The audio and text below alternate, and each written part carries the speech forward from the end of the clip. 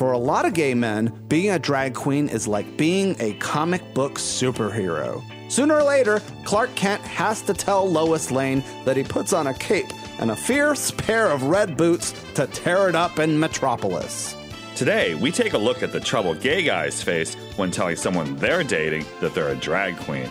Joining us is the she-larious San Francisco drag queen Peaches Christ, who somehow managed to break the news to her boyfriend that she does drag, and he didn't run away in terror. Plus, does Sister Dick make you sick? 10 reasons not to date a drag queen. Who gets to use the walk in closet? And how to rope your boyfriend into running your merch table. I'm Fausto Fernos, I'm Marc Felion. and this is Feast of Fun.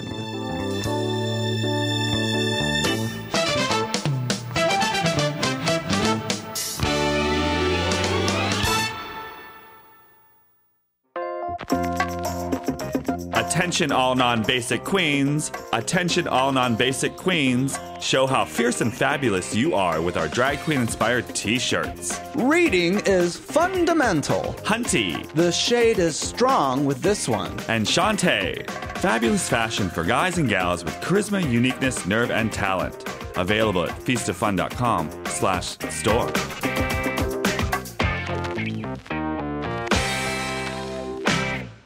Hello, Hi, is this Peaches Christ? this is her. How are you, darling? I'm good. How are you guys? We're doing pretty good. We're still a little hungover from the Super Bowl, from staying up late and recording a podcast afterwards and examining the nuances of Lady Gaga's performance. I'm a Satanist. So, people are saying it was satanic. Well, they were kind of hoping that there would be some kind of satanic ritual. The, the alt right was saying that there was going to be something in there, but I didn't see anything too satanic in there. But they did have a five second delay, so maybe she did do a Hail Satan and we didn't even see it. Maybe, yeah. She said afterwards, Can I get a Hail Satan up in here? Oh my god. and everyone's like, Huh? I thought this was sponsored by Budweiser. Who's being boycotted? Did you guys actually watch the um the sports? I watched some of it, yeah. I watched a little bit of it just before the halftime, and then I watched qu- towards the end because I was just like, holy shit, the Patriots really came back.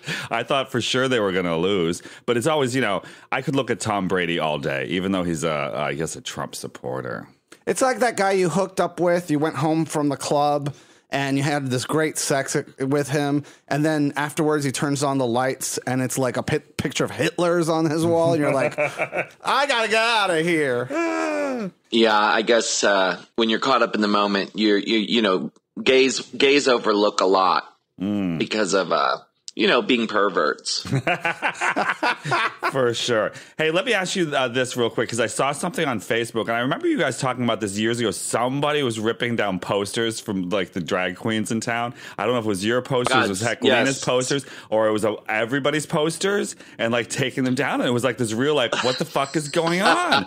and then I see on Facebook there's like this short video of this guy going over, uh, ripping a poster somebody's filming it. It seems like he gets caught in the act and he just tears it up and throws it into the air and then walks away. What the fuck is going on? Well, for years and years, there have been different people, um, on and off, who who take it upon themselves to be the neighborhood um, like cleanup crew when it comes to um, ripping down event posters and you know um, outdoor marketing. So I noticed in San Francisco that you guys do a lot of outdoor marketing, a lot of posters on the street. And we I guess we do that inside kind of in different coffee shops and stuff, but in San Francisco it really seems like that's the way to get the word out about shows. It's very European. Like if you go to Paris, you know, there's these little cylindrical Yeah. uh, stumps where people put their posters up. And it's sort of like Right. I don't know how good uh, a marketing that is because there's so many posters, everything kind of gets lost in that crowd, right? Well, uh, and in San Francisco, it's a little bit different. Uh, you know, Seattle has a rich culture of this as well, where outdoor marketing and street pole advertising, they're kind of part of the culture of the city.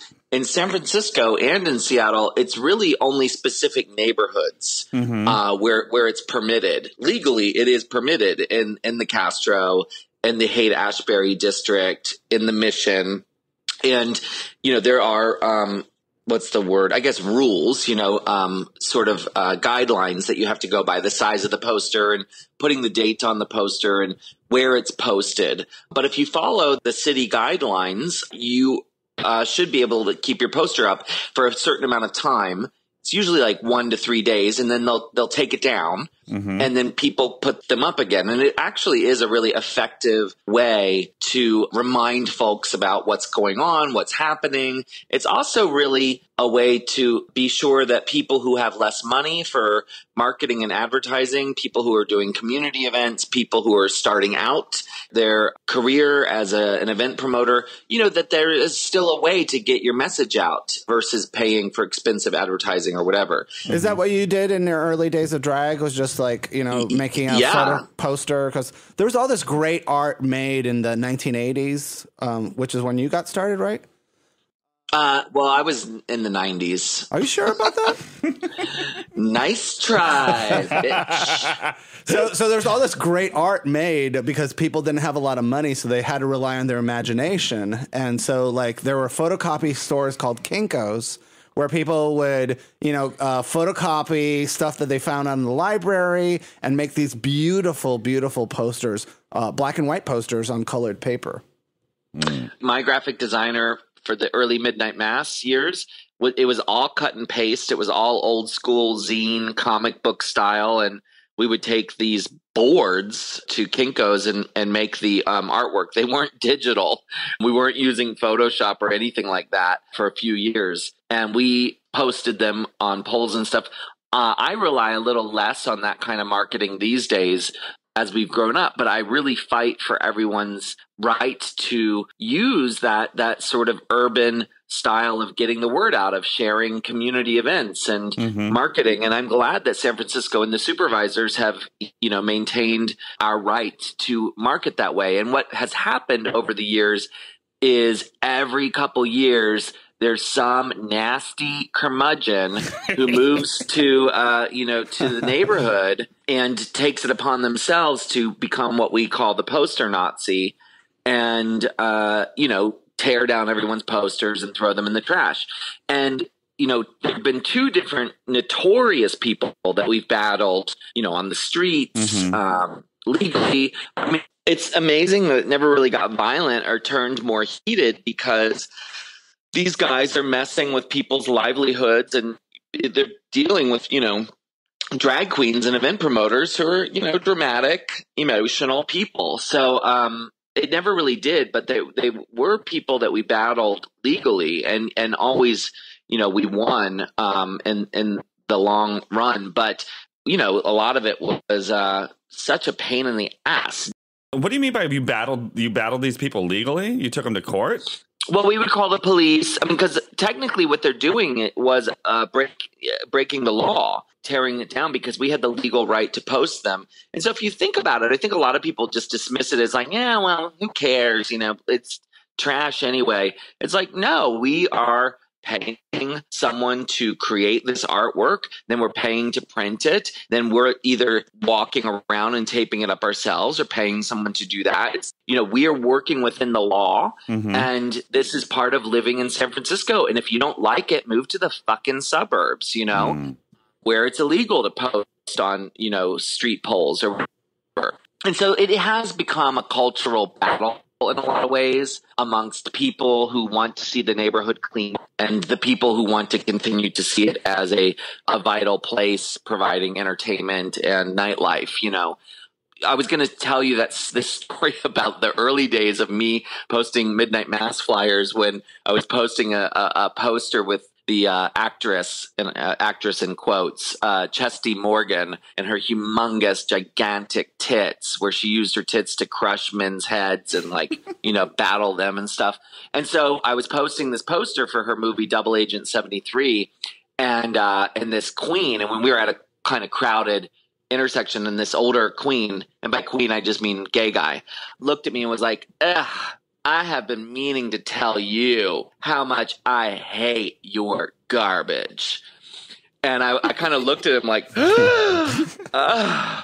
and um, this other queen who was just as old turned to him and was like, Oh, shut up. I remember you fucking in the streets in the 70s. How dare you tell these young people they can't have fun now that you're old and have your house on the hill? Fuck off. And the whole like corner cheered for that guy. They were kind of like, yeah.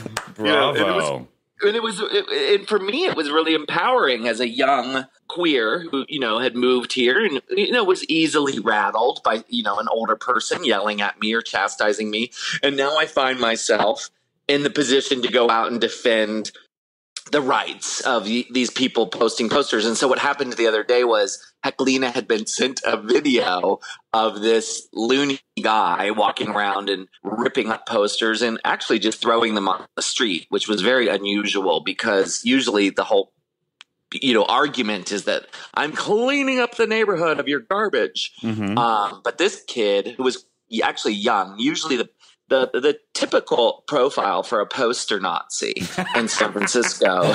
Oh, it's certainly yeah, it's certainly um, white, Caucasian, gay male over the age of I would say sixty. Um, Very uptight, hasn't you know been fucked in a long time, uh, and probably a little you know suffering from you know some sort of um, I don't know uh, maybe maybe sometimes uh, drug or alcohol addiction. Mm. Um, Power issues, control issues. yeah, there's definitely because when when you start to like really interface with them, you're like, eh, this person's not all there. You know, they scream at the police, they'll scream at anyone. You know, um, so this kid that was doing it, um, it ended up being a new kind of uh, poster thing. And what we found out later, after you know, sh- kind of blasting him on um, social media, uh, was that he it was it was actually specific. It was actually that he was flirting with a guy putting up posters, and the guy didn't reciprocate. what? So this queen, yeah, like that was what that was about. But you know, we didn't know. I mean, we're so we're so damaged from years of having these battles that we just thought, oh my god, we've got another poster Nazi on our hands. So what's up with this new poster Nazi that you guys have caught on film? this guy that Heklina had a video from was apparently the story goes because he was completely like identified and then publicly, you know, shamed. And what he said was that he had been flirting with this guy who was putting up posters and the guy was rude to him. And so, and, you know, which would actually explain why he just threw the posters on the ground Mhm. you know he was upset or angry that that his um uh you know affection wasn't reciprocated and so he was ripping up the posters so anyways Heklina actually took the video down and uh you know Why'd apparently ta- he's promised not to tear tear down posters anymore Oh, okay, because I went looking for it last night. I was just like, where'd it go? I'm like, oh, something must have come of this now that it's missing. So the video was somebody who was really angry and they were like pulling down every It was, poster. it was from across the street. You know, he's kind of like a hipster looking kid with like a scarf and a hat and like a coat. And he's just seeing like he pulls the poster off and then like rips it in half nonchalant, like and like carefully throws it into the air. Like, huh, what are you going to do Now, about it? I, I believe you know that that the that people who are in alternative culture, you know, the underground, the alternative, do have a right to uh, express themselves and and and and ha- make sure that their message doesn't get co-opted into uh, you know modern uh, fascist movements. right But no, seriously, like in my day, uh, we used to put up posters, and I actually have Gretchen Phillips of Two Nice Girls mm-hmm. tearing down one of my posters to put up one of hers. And oh, she ooh, was that inter- is shady it- she, she was being interviewed, right? And so she's just like talk. uh, I guess it was for some documentary on lesbian musicians and stuff. Mm-hmm. And literally, it's a poster of my, one of my drag shows with my face on it. And she's just like not looking, and she's just like taking it down and putting up her poster. And that made it into the doc. and it made it into the documentary because she's doing it very subtly, you know. Mm-hmm. But I'm like, I knew for a fact that when that was filmed, my show still w- hadn't finished its run. and I was oh. like, "You me, shady lady." That is a declaration of war. Fausto's a lover, though. He's not a fighter. Gretchen came on the podcast. She, we, we're friends, You know. I, and I don't think she meant it maliciously. She was just like caught up in what she was saying. She was self involved. Yeah, you know, and so she She was. publicly shamed. Do you have video of that? Uh, it's it's in this documentary that was uh, being passed around. It's still there. Like it's it's it got it, it made you it should to the take final out that cut. one clip. like just just isolate that one little clip and just share it and say, "Look at Gretchen so and so taking down my poster and replacing it with her own." It doesn't seem very fair. Well, we used to get the, the Center on Halsted, which is our community center here in town. We used to put cards down there for the podcast in the early days, and you know, because you know we're a community resource, uh, you, you can everybody at this table agrees to that, you know, and so I would put them out there, and the uh, somebody there, and I understood it was the director would throw them out, and so now they keep sending me press releases and stuff, and so I keep unsubscribing to their newsletter. Because I'm just like, Well, listen, you throw fair. my stuff out. If I hang a poster, you throw it out. I don't have to take your stupid newsletter. Right? So I hope- Exactly. I hope, somebody at the center is listening to that. in San Francisco, I have to say, like, it's incredibly respectful.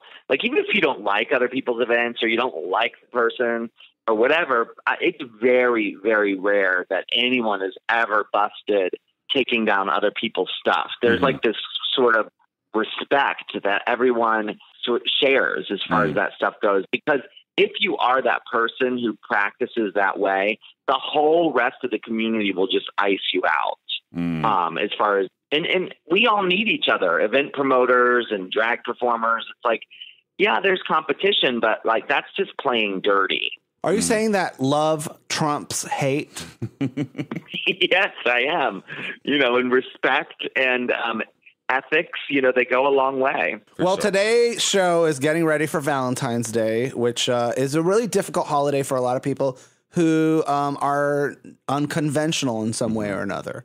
And I can't think of an artist or performer that's more non-conforming than a gender non-conforming performer. and drag queens usually find a lot of challenges when it comes to dating other people. If they're on Drag Race and they're famous and everyone wants their attention, like Alaska Thunderfuck sings in the song "Race Chaser," mm-hmm.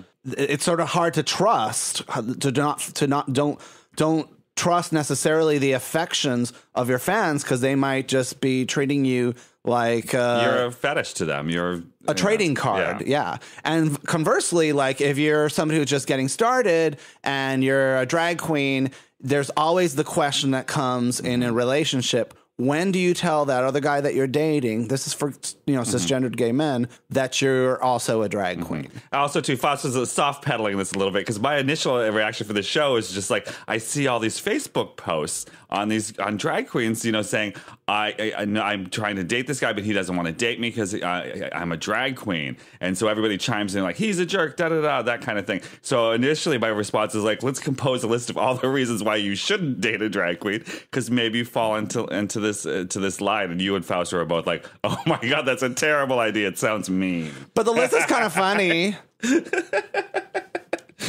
Well, I said that I wanted to be on the side of all the reasons you should hate a drag queen. I think it's funny because I actually think, Mark, you're actually being what's the word? You're, you've like progressed beyond the notion that that that that that drag queen that not dating a drag queen is you know kind of a popular sentiment amongst gay men. Mm-hmm. but it is and unfortunately a lot of gay men still like are threatened by the idea of it. So when we do this show and we go over all the reasons we we you know think it's a bad idea to date a drag queen i hope the listener realizes the only reason we're comfortable discussing this this way in a comedic podcast is because we assume that you aren't self-hating assholes Right. Exactly. This is Right. for the cool kids. and you this know, is for the and cool we'll- kids only yeah, right and we'll learn we'll learn some valuable lessons today, just like on uh, a Fat Albert.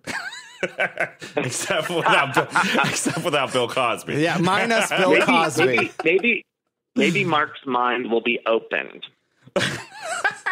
Oh, I think so. Well, listen, uh, the number one reason, and we did a whole podcast on this about Before with you. with you about this is one of the reasons you shouldn't date a drag queen is the smell because sometimes they're stinky. it's their clothes are stinky, and then they try and cover with Febreze or they put on makeup. They have weird moisturizer. They smell like an old lady's makeup box. So you know we're turned on by scent, and sometimes that scent can be just like destroyed. I don't want to have sex with my grandma. Mm-hmm. Do you know? I, I actually think that our podcast has done a lot of good Mhm. because since that podcast has Mhm. come out, I have noticed hmm that drag queens, um, they still smell. That's true, but not as bad as they used to. Yeah, it's gotten better, but I also think too It is has like improved. you know because when did Febreze really come out? Like ten years ago or something like that. I, I, I give there was Peaches credit for that Yeah. one, and, and part of it is that Peaches made chewing gum on film and drag a popular thing to do. so the breaths don't smell as well. In the movie Milk, in the uh, Mm-hmm. Oscar award winning movie Milk, is Peaches Christ somehow a time traveling drag queen manages to find herself in the 1970s chewing gum in the middle of a Harvey Milk rally. I don't know how it happened, Mm-hmm. but it happened. They had gum in the 70s. They didn't have Peaches Christ in the 1970s. I was playing a character. I I think was you're, a, you're a like a you're a time lord. yeah, though it's funny though is I'm in actually there's two Peaches um, uh, movies from the 70s. One is Milk, and uh, you you at home can see if you can find me in the movie Milk. And then the other is a movie called Diary of a Teenage Girl. And I'm in that movie as well as Peaches, which also takes place in the 70s. But I'll tell you this Hmm. I was not chewing gum in Diary of a Teenage Girl. I took it out. I remembered. I think You're that like the I will gum. never hear the end. you of know, this. honestly, like I think the gum chewing was brilliant because it really it was a subtle enough gesture that made you stand out Mm-hmm. a- above the crowd. My favorite part about it was was uh, having Cleve Jones on this podcast talking about how tacky it was for you to chew gum in a, in a film about milk. Yeah, you were goading him. Here you have an opportunity to interview a historical figure and the gay, you know, mo- civic, uh, civil rights movement. The, Yeah, yeah, the yeah. human rights movement. gay Feast of Fun for you a reason. Talk, you wanna, oh, touche. it's not Well, called um, Feast of I'll AIDS quilt. Yeah, feast of responsibility doesn't do so well. No, but uh, Cleve's Yeah. a, a, an amazing person, and you know what? He's he's he's a he's a very funny person himself. He's very funny and very charming and very engaging. So, so Well, number I have two reason. All the drag queens at home a, a warning about that. If you are going to chew gum, and it's a great idea for keeping and maintaining fresh breath, um, just be careful because certain drag queens, when you add that element to your look, um, it could really confuse the audience. For example, if you are Heklina or Alaska, you know, people will just think you're the Black Stallion or Seabiscuit. Um, chewing the cud, right? You need, yeah, you need to be careful. Well, I was reprimanded by saying that Heklina was chewing cud, and my own mother, who has to chime in on every Facebook post I share, was like, uh, "For your information, Seabiscuit is a horse, and Heklina uh, isn't chewing cud. She should be chewing hay because cud is for cows." I said, "Well, she's both. she's a cow horse." so number two reason if you Oh date a drag God. queen and you get involved and you move in together the bitch is gonna take over your closet eventually it's just gonna True. spread and you'll have Can't nothing deny left it. well, uh, Peaches, I'm you and your trying to boyfriend live together, of- right? We do, yeah. And and and you guys split the closet evenly, or how does that work? Um, so we have we have our boy wardrobe, um, and that is split evenly. And then there's another closet that's actually the closet in the apartment, and that is for all my um, peaches to go drag. Mhm. And what that means is I keep a, a certain amount of to go drag here at home, a certain amount of wigs, and basically sequin gowns, so that I always have a look ready to go should I get that phone call at the 11th hour. Um, and which has happened, you know, and I don't Mhm. have time to uh, to pack um, uh, from my storage unit. Um, so so the reality for us though is luckily we have a whole I have a whole storage unit um, that that most all of my drag lives in, but I don't um, suspect that uh, all drag queens or even most drag queens, you know, um, have their own storage unit. And so it is true. If you date a drag queen, you are going to have considerably less closet space. If you get into an argument with your boyfriend, do you say, Listen, I'm going to put you in the storage unit and pull my drag into my home? um, yeah, that's that's a problem if you get to that that place because you know then then you're talking about committing a felony. Number three, glitter everywhere. It'll never come off of you anywhere. It'll be on your face. It'll be on your clothes. It'll be on your floor. It'll be in your bathroom. It's very true. Can't deny it. I'm mm. trying. I'm sorry, queens out there. I'm trying to defend you, but that this is undeniable. And when I first started dating my partner Nihat, I remember being kind of horrified by the fact that like every day it looked like his face was full of glitter. Mm-hmm. And I wasn't even like look like like using this glitter. And I'm like, oh my god, well, it's undeniable. It must must just be in our apartment in the air. You know, it must be just floating through the air at all times because I was spotted on him and I and I didn't say anything. And then after a few weeks, it was so crazy to me that he had glitter on his face all the time that finally I was like, I don't know what's happening. Like you have glitter on your face all the time.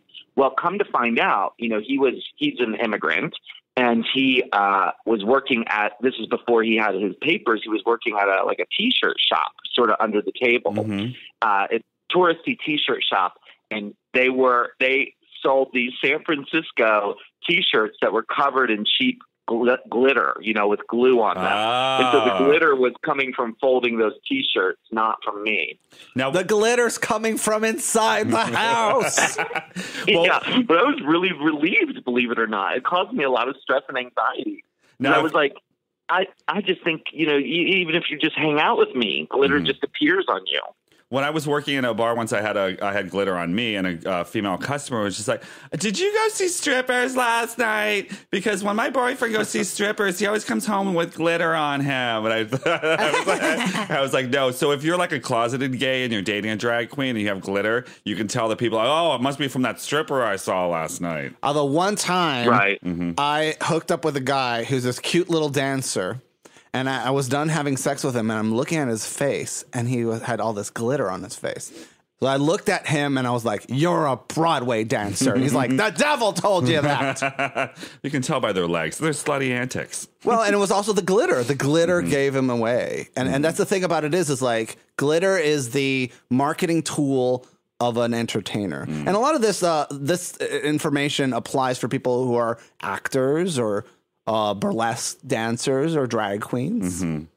You know, it's like, and part of it is like, I wanted to sort of attract uh, people who are, to listen to this podcast to how to rope your boyfriend into. I'm not done with my list. Wait, yet. wait, but I want to because we were talking about stuff here. Okay. How to rope your boyfriend into get him to buy your expensive shoes and wigs. Okay. And at Peaches, how, do, how does that work? I have not figured that out yet, mm-hmm. to be honest. Mm-hmm. Yeah, that, because I know that really... Willam Willam Belli uh, f- brags about that, and I don't know if he still does, but it's well, like he's got a you know he's got a, a hooker kind of uh, sensibility sensibility about yeah. him. So and you know if he does or he doesn't, but it's also it's it's good for humor, you know, because who doesn't want to be a sassy woman who has uh, men just like buying them lavish gifts? And you know about the notorious fight between Mimi Imfurst and Shangela, where Mimi uh, accused Shangela of, of turning tricks, oh. of having sugar daddy, and Shangela's like, I earn my own money and I don't, I buy my own stuff. I don't need no damn man. And then they started throwing drinks mm-hmm. at each other, and that's why RuPaul's Drag Race doesn't allow the girls to drink more than one alcoholic beverage in their break two. or 2 mm-hmm. But what I liked is because she asked herself a question, she asked the room a question, and then she answered it, which I actually really love that moment where she goes, "Because I am what." sickening. that's why she doesn't have a sugar daddy. Call oh my response. god, that was a great moment. That's mm-hmm. great. That's great television. Mm-hmm. No one can deny that. My For god. I really miss that those backstage shenanigans. Mm. I'd yeah, say it seems back very tamer all, by. let them in- go at each other. You know. it's a lot tamer by comparison, right? Today, you know. I think so. I mean, in some ways, I actually really enjoy the new. Um, what do they call it? The secondary show. Untucked. Um, untucked, yes. Yeah, I really enjoy this sort of um, gritty realness of it. You know, Mhm. because you're like, oh wow, they kind of just are in this warehouse behind that wall is the other side of the set. You know. Um, so you, you, get more of a sense of it being realistic, but there was something fun about the phony interior illusions lounge and all of that. Like, you know, it was like, yeah, we all know it's fake and Mhm. it's part of the show, but it was it was just gr- great Mhm. extra content. And also, I felt like it was where you kind of saw the girls um, let their hair down a little bit more as far as revealing their personalities. Mhm. Um, I don't know. But still, you you know, they were in, in, in more of a pressure cooker. You know, they were still having to be on for the cameras. So another thing about dating a drag queen is basically you're standing next to this fierce human being, and you're going to be re- uh, relegated to the role of toady or henchman, and being handed a camera saying, "Will you take our picture, please?" and, just, uh, and not That's even being treated true. like a human being. That's true. if you've ever seen that documentary, Guest of Cindy Sherman, just Mm-hmm. replace Cindy Sherman's name with whoever your drag queen boyfriend is because that'll be you. So how, how do you ha- what what what Well, what's one of the hardest things do you get about it is that? is also if you're a successful drag queen Mm-hmm. and you're dating somebody, in order for them to like even hang out with you, and this is a boyfriend, Mm-hmm. they have to wait in line for the meet and greet. That's not true. That's not true. No, I've, you I've do seen that no, happen. is- yeah, it- they were like, I I stood in this line for an hour Mm-hmm. because I need the keys in order to get back into the apartment. Well, I did ask. I, I, did, I did ask Ginger Minj's boyfriend about like what's the worst thing about dating a drag queen that's famous. You know what I mean? And he said the thing is is like that you you miss her because she's out of town a lot. And I was just like, oh, I wanted something really. that I wanted something more very cutting. true. Yeah, and that's no, that's probably the that's probably the honest Mhm. biggest challenge for us, for sure. The, and, and all of these things have a good side and a bad side, right? So, Mhm. like, the, the the key is to to my mind is if you are dating um, a successful drag queen and you understand what their job is and what what is what is you know performing you know um, on and off stage because see a lot of people don't realize that like those meet and greets that time that we're spending out amongst you know an audience or fans or at a after party we're still performing and in ma- many ways it, it's just as hard if not harder than the stuff we're doing on stage which is actually quite often the most Mhm. fun part of it Mhm. um, and so it's it's nice when your partner really gets that like oh they're still exhausted their feet hurt i'm going to see if they need any water i'm not going to mind or be a pill about being asked to take a photo because i'm actually just helping make their life easier Mm. um, but I've seen it go both ways, you know. And then the other thing too is, is it's like if that sort of stuff bothers you, don't go visit your boyfriend at work, you Mhm. know, Yeah. because that's what it is. It's work, and I and I, I, I know it's creative, it's artistic, it's fun, it's but but you know, it's also it's a job, and so when people forget that it's a job, you know, I've seen boyfriends get jealous of their partners for doing their job, you Mhm. know. Um, so it's a tough, you know, you have to be really kind of secure Mhm. in a lot of ways. And humble. And not just and humble, Mhm. and not just to date drag queens, but I think any successful entertainer, politician, anyone in the public eye like that. hmm Yeah, for sure. Uh, and so makeup hides more than just gender. Often I see this a lot that uh, drag queens hide their drug and alcohol dependency behind a wig and a crap ton of makeup because, hey, it's their job to be drunk in a bar. For some of them, Um, I think that one's a little reaching. is it? Well, I don't think the makeup hides it very well. What'd you say? just sitting here thinking like, well, I because don't I, kind of think of it like, because you know, I, these. It's kind of like I think about these types of drag queens. Now, not of course, not all drag queens are like this, but I think of them as uh, like the Cubs fans or people that are uh, sports fans that put on the jerseys and then go to the field. It's like yes, they love baseball, but what they love more is drinking at the baseball game, and so they hide like their their drug or alcohol dependency behind their love of baseball and being at the thing. Whereas you know they're they're literally like Uh-huh. stumbling out of the stadium like wasted, and it's like you Right, know, right. but The they excuse it is- because yeah. they're a Cubs fan. Right. And the same thing could be said of like rock and roll fans Mhm. or, you know, rock and roll musicians, Yeah.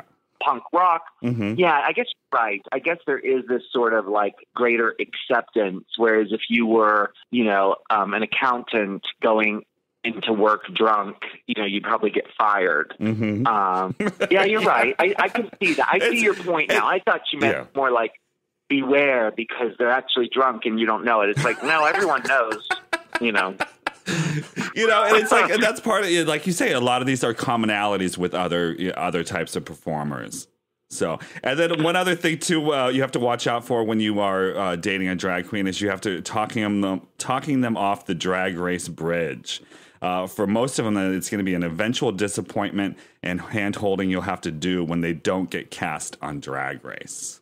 Oh, That right, right, right. I guess that's a that's a newer problem that I didn't struggle with growing up because there was no drag race in my uh, my formative years. Mhm. But I would assume, yeah, I guess you're right. I mean, Mhm. uh, it's sort of like I, I feel like for young queens now, it's hard not to see drag race as the pinnacle, you know, the the thing that everyone's trying to achieve, you know, just to get on the show. You know, we didn't have anything like that. So yeah, that's an interesting. It's a new new thing, huh? I, I'm sure. You know, I bet there are young queens though who have not pursued it. I don't know. I, I guess most are pursuing it.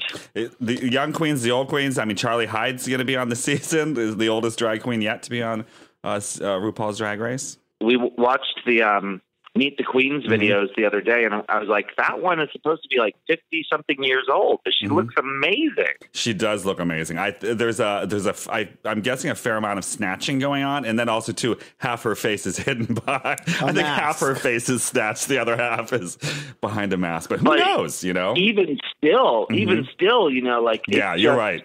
it, Mhm. undeniably, she doesn't look bizarre. She just looks really gorgeous. Mhm. Like I don't know, you know, whatever her secrets are, go girl. Well, I, I- think uh, you know with Charlie Hides and with these queens who are getting on Drag Race, part of it is like they want to get on Drag Race because it un- it's kind of like a video game. It unlocks all these bonus rounds, but when they actually get on Drag Race, then they have like a publicist intentionally keeping them out of the press in order to make sure that the top three or the top five get more press mm-hmm. attention. And so the the smart queens kind of sneak in and get their little mm-hmm. goodies, get on Cooking with Drag Queens and other stuff, unbeknownst to the publicists, right? And then the, the the queens that are not so good at it, they follow the rules, and then when everything is done and said and done, they're like, "Why does nobody book me anymore?" And I'm like, "Well, they're not booking you because you followed the rules. Because ultimately, drag is about breaking the rules." and and the queens who you know carve their own path are the ones who are going to be the most successful. Mm-hmm. Like Ultimately. Katya wasn't supposed to do those video blogs, but she did it anyway. She and did then them she anyways. became like you know a, a The number one. international superstar for sure. And she was not Who? supposed to be Katya Zamolodchikova.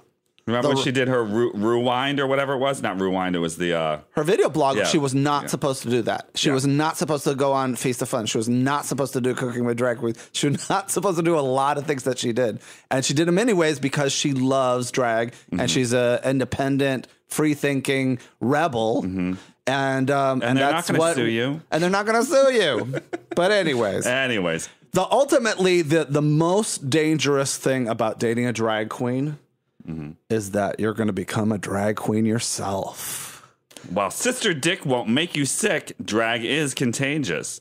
Or you just simply become a drag queen by osmosis. Eventually, you just you know, you're putting on makeup and then the lipstick kind of accidentally, Mm-hmm. you know, stains you, or when you kiss them, Mm-hmm. the lipstick gets on their lips, and then it's suddenly like, hey, you know what? I do look good in a pair of heels. Yeah. and pumps and then some fake titties and a wig. And it totally challenges your conservative notions of gender and sexuality.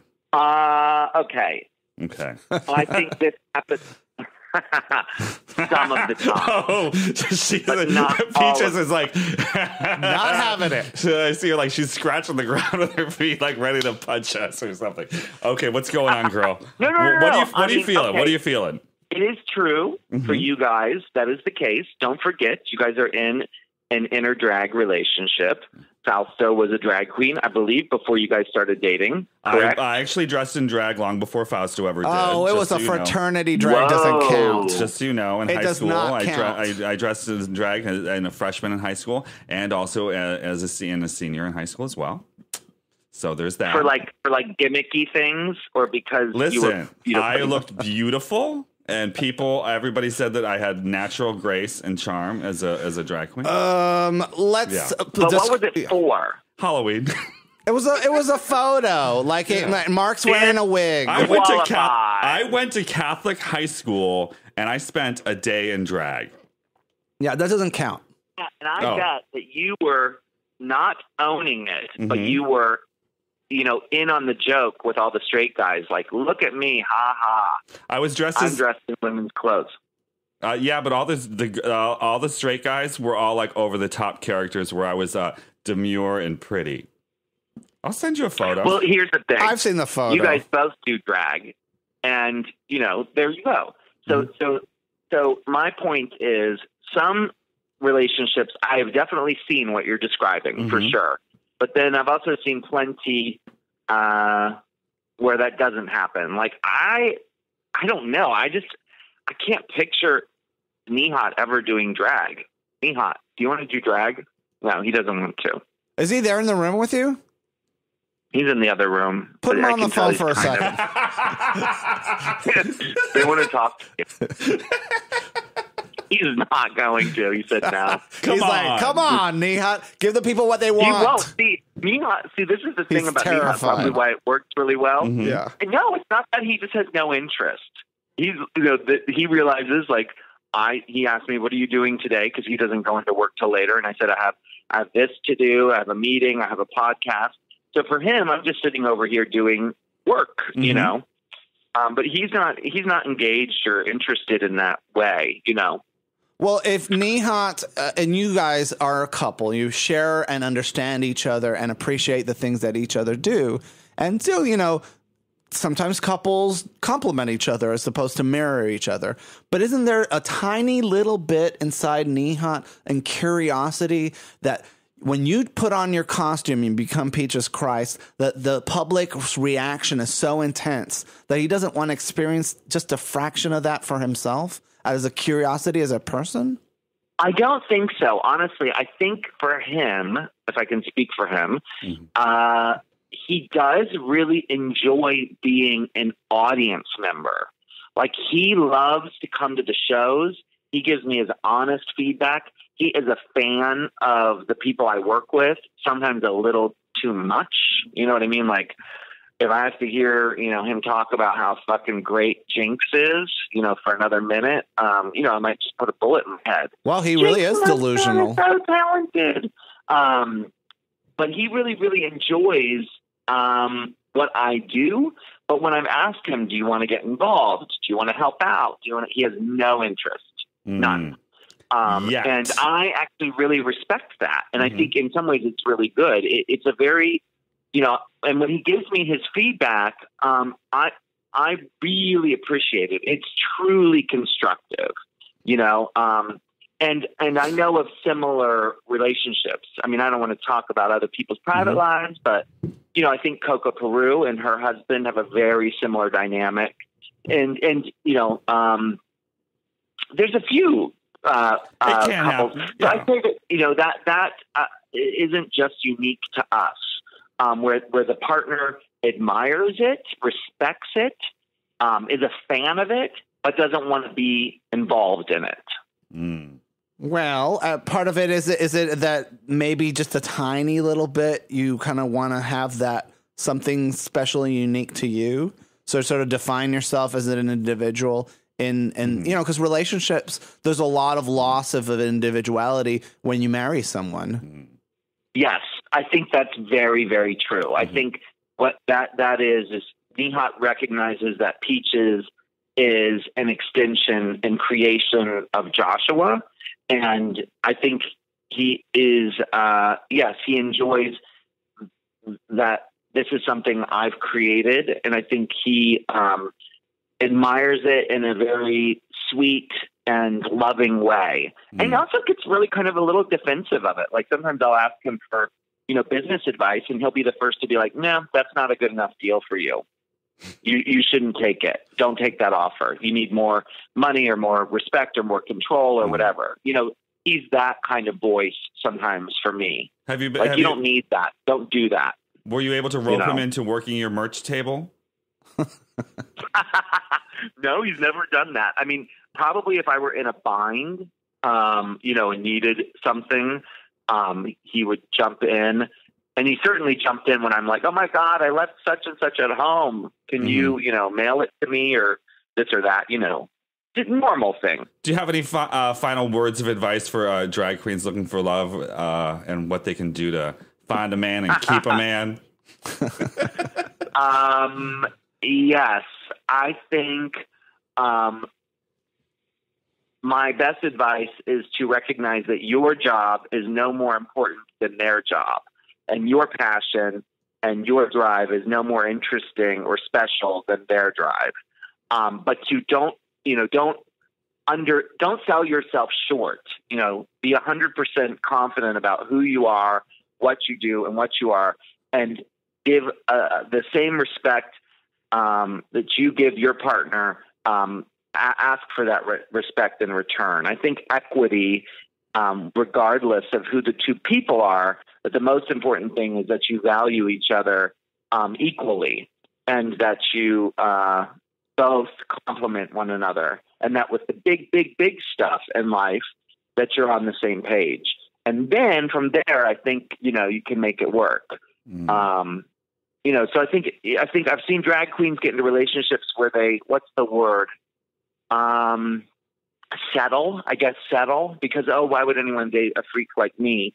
And so they'll kind of be like really great, wonderful people. I've seen friends of mine who, you know, are with people where you're like, that person is a fucking asshole. And you get the sense like that they don't think they deserve better or that they're going to find better.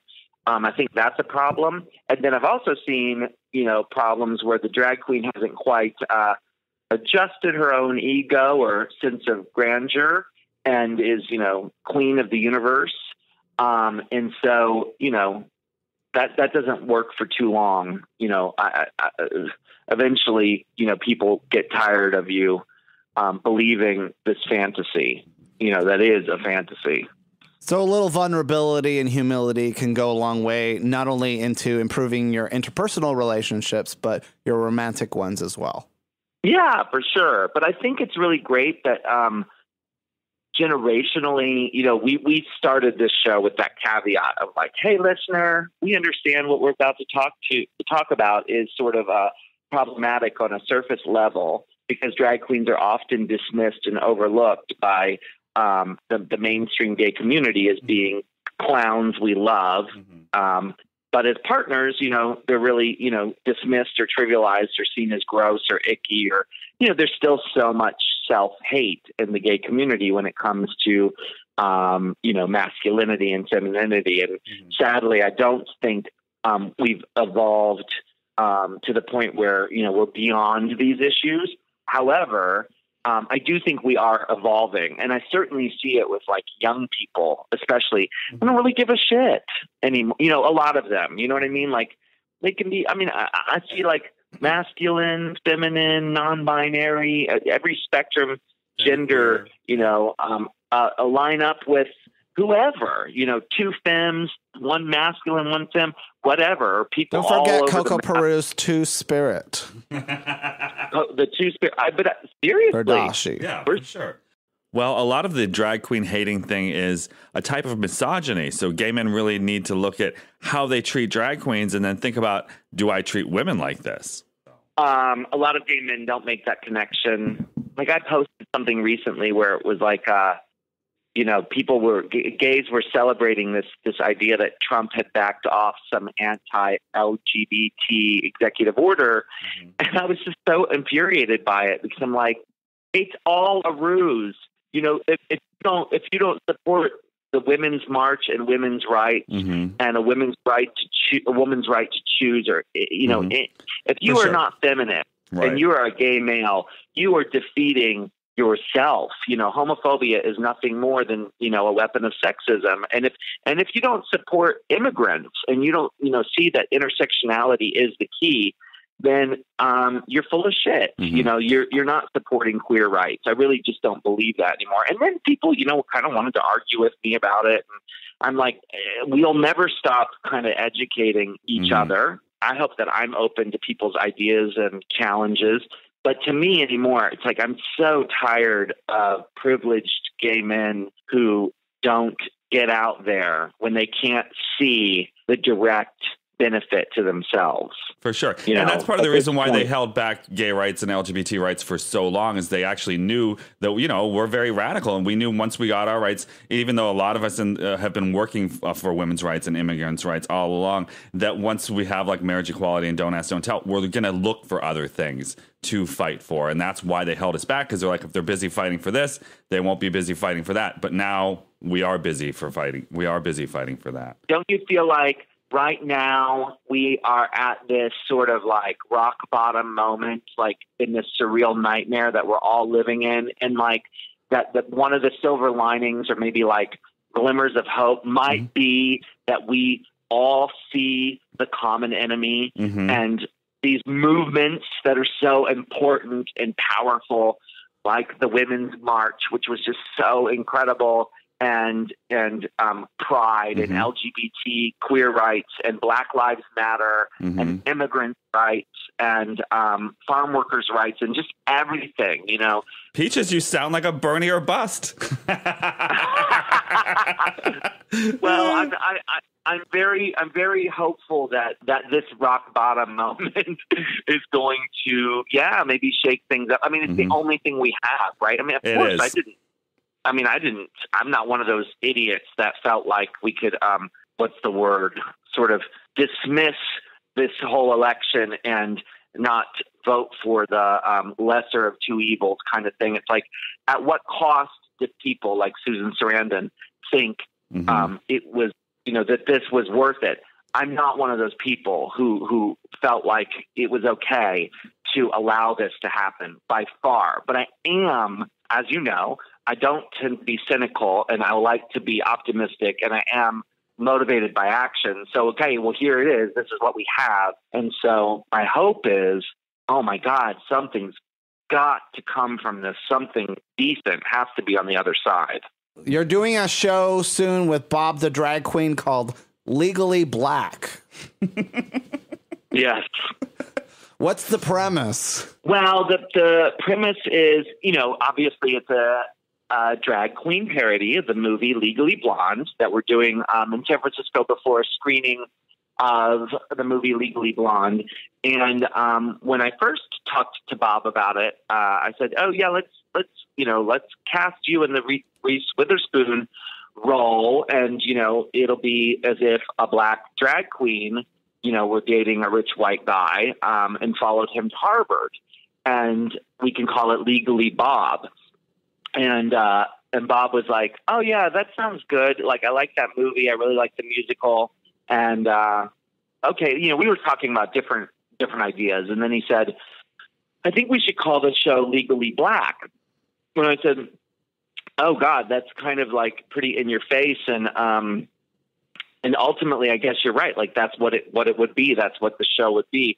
Um, and Bob was like, "Well, now you know, now more than ever, you know, who gives a shit? You know, let's just do it." Mhm. And uh, I thought, well, I think he's right because the question of you know, like this this show is not going to be designed to challenge the audience. It's going to be, of course, a celebration of of hopefully like uh, a sentiment of inclusivity and to celebrate, you know, the underdog winning, you know, Mhm. but instead of it being a blonde, um, what would you call her? A Valley girl, I guess, a blonde, you know, California girl uh, making it at Harvard. It'll be, you know, from the point of view of a black drag queen.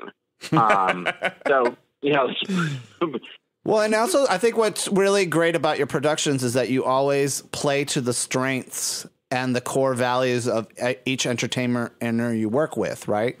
For sure. And Bob is certainly, I mean, one of the things I admire so, so much about Bob is just how unapologetically outspoken he is and how smart he is. It's funny. I call, I call Bob he. I, I always do that. Like the drag queens with the, the male names, Mhm. I gender them he. But Bob is a she. I keep forgetting. Bob the drag queen is a she. Mhm. Well, and, and, and Bob is somebody who, you know, is very much a part of our community and somebody who, for a long time, was uh, a regular on this podcast. And, and, uh, Well, I was first introduced to Bob through your podcast, and then cast her in um, a show in New York City we did before she was on Drag Race. So this, we've actually worked as what? together. As? As what? uh, you can't. Jackie Olassis.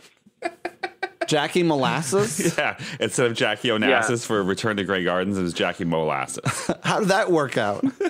but it was originally written for a white person, right? Yeah, yeah, yeah, Yeah. Well, first Lady Bear played her. Oh, yeah. Different people have played the character. Mhm.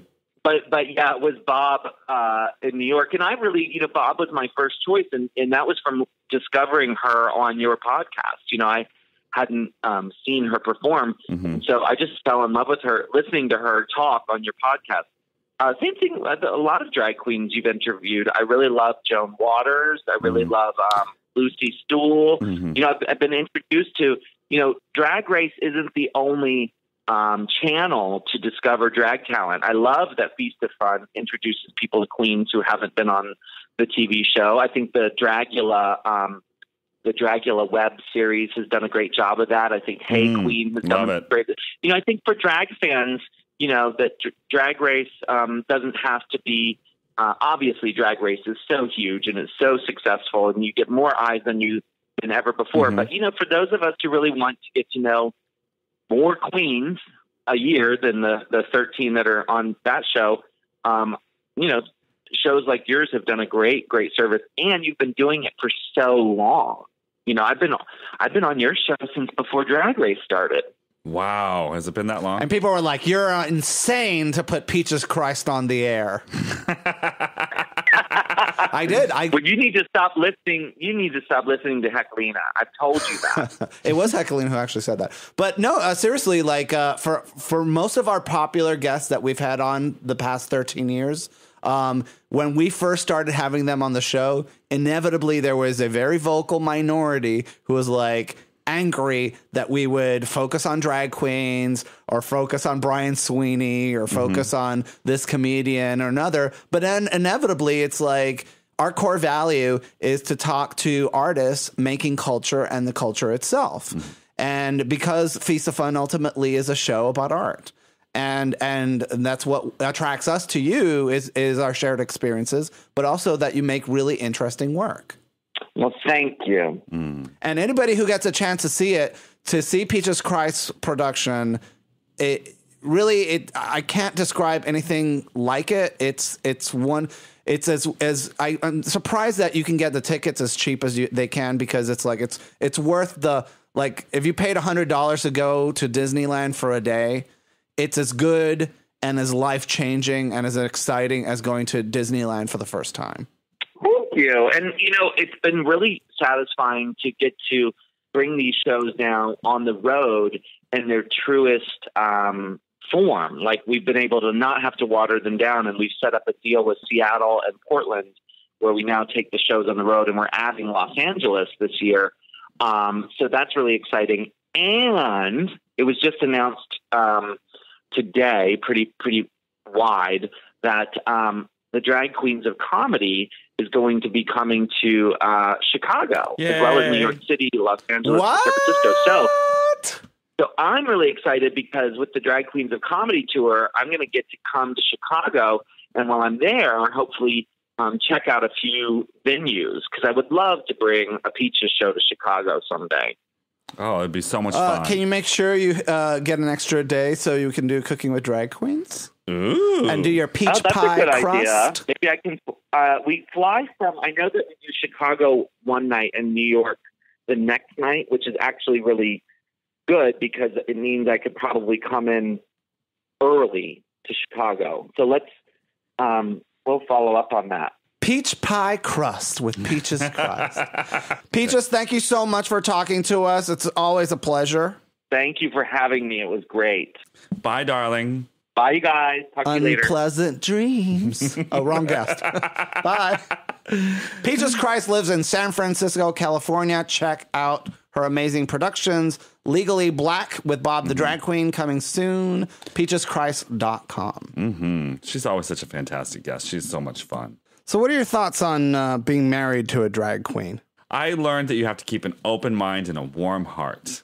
And you know, one thing that, that wasn't brought up What? Is that when you date a drag queen, it's kind of like dating twins. You're dating two people.